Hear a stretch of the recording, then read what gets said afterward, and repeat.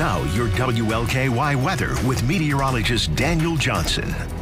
What a beautiful day. Nothing but sunshine, low humidity, temperatures have been in the 70s through, uh, through the day. So really, really nice. Hopefully you had the chance to step out. If you didn't get a chance to enjoy a lot of time outside, don't worry. Just wait till you see the seven day forecast. We have plenty of days uh, with gorgeous conditions in the forecast. So that's coming up. 74, the current temperature, the dew point is 48. So that means the humidity is 40%, feeling very, very nice. So here's what we're looking at over the next several days. A long stretch of sunny skies. So gorgeous conditions. It's going to be warm and dry for the afternoons coming up.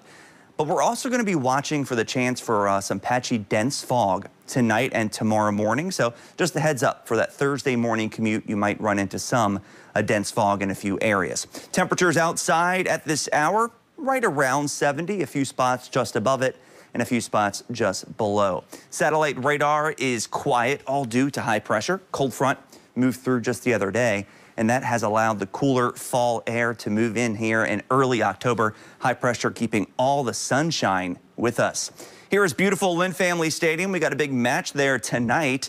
It is Lou City against Miami FC. Kickoff 7:30. The sun setting as the game begins. 68 the temperature at the start of the game. And then by the end of the game, we're talking low 60s. So you might need to bring a light sweatshirt just in case if 62 is a little bit too cool for you by the end of the game. Then later on tonight, overall clear skies, but we can't rule out that patchy fog in some spots. And then outlying temperatures tonight for outlying rural areas, some spots could drop into the 40s, most of us in the low 50s. So definitely uh, light jacket or sweatshirt needed for tomorrow morning. Then by tomorrow afternoon, it warms up a bit. We're getting closer to 80 degrees with continued sunshine. There's a look at those highs for your backyard tomorrow upper 70s to right around 80 degrees, so it's going to feel incredible.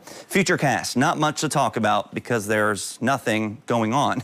yes, a little bit of patchy fog maybe tonight, especially metro south and east. It burns off quickly to a lot of afternoon sunshine on Thursday. Here is that incredible, wonderful, fantastic seven-day forecast. Yes, it's going to warm up the next few days. It might even feel a little, a little sticky over the weekend, low to mid 80s, but we'll take it really nice. And then if you don't like slightly sticky, well, how about a big pattern change next week? True fall air moves in. Overnight lows in the 40s and 50s. Starting Monday, lots of sunshine and high temperatures, upper 60s to low 70s. So a bit of everything in terms of uh -huh. warmer and then cooler air in that 70 forecast and a lot of dry time. We need to dry out a bit. That is nice, yeah. I always tell my kids, dress in layers. In the morning, the long and then sleeves. Just less layers later. Peel it off throughout the day. Right, good advice. Right. Thanks, Daniel.